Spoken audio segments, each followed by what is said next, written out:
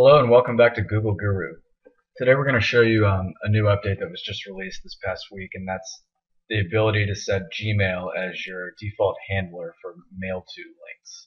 So um, you may have noticed in the past if you see an email address on the web and you click on it that'll often open up what's set as your default email service um, which in many cases is going to be Outlook. But for Gmail users sometimes you would rather have that be Gmail. Well, now that is possible, and I'm going to show you how to activate it in Chrome.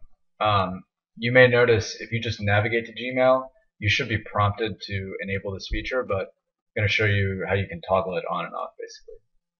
So you're going to go to the wrench on the right-hand side, and then Options. Then click on Under the Hood, and then click on Content Settings. And then click on Manage Handlers. Um, and you probably want to check allow sites to ask to become default handlers for protocols. Um, that will let Google sort of alert you of these things as they come along. So click manage handlers and then for mailto you can see I've selected Google Gooru Mail. Um, for calendar you may have seen the same kind of prompt recently but um, I have Google Calendar as well selected as my uh, protocol handler for WebCal links. So that's it for today. Hope that was helpful and I hope you liked the new feature. As always, you can find more videos at googlegooru.com.